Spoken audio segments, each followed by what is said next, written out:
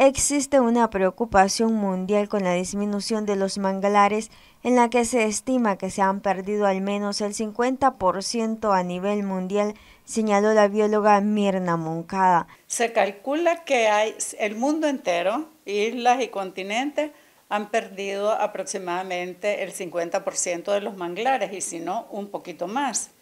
En el caso de Nicaragua, nosotros tenemos dos costas, ¿verdad? Pacífico, Atlántico y tenemos islas también.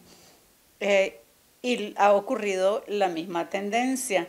¿Y por qué son importantes la conservación de los manglares?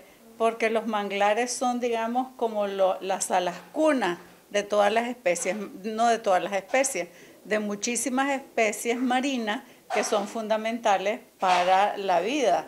Por ejemplo, muchos de los peces, que son los que se pescan más tarde y se utilizan para comercializar, los bebés de esos pescados vienen de alta mar y viven en los manglares, porque los manglares con su sistema de raíces, el lodo, la sopa, digamos, del manglar que se forma, esa es una sopa riquísima en nutrientes, entonces larvas de camarones, de cangrejos, las famosas conchas negras que casi han desaparecido, o eh, no las otras no, pero otro montón de, de mariscos, las jaibas, viven en el manglar porque son riquísimos en comida. Y además de eso, esa es la función, digamos, de nodriza con las especies marinas, que son fundamentales para la vida de los pueblos, porque si se arruinan los manglares, los pescaditos y las, los bebés que comen ahí, se acaban y no hay pesca.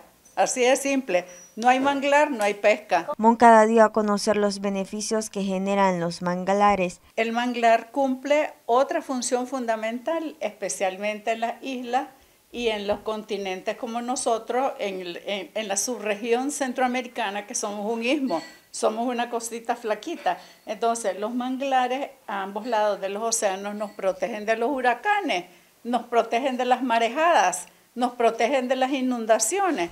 Y además de eso, los manglares cumplen la función de conquistar tierra para el continente, porque van colonizando, colonizando y cada vez las costas se van ampliando. Al quitar los manglares, entonces las costas se erosionan, se pierden y los huracanes nos pegan de frente y por eso los huracanes en Nicaragua son especialmente desastrosos. Entre menos manglar hay, menos protecciones tenemos para las marejadas, para los huracanes y para, cualquier evento.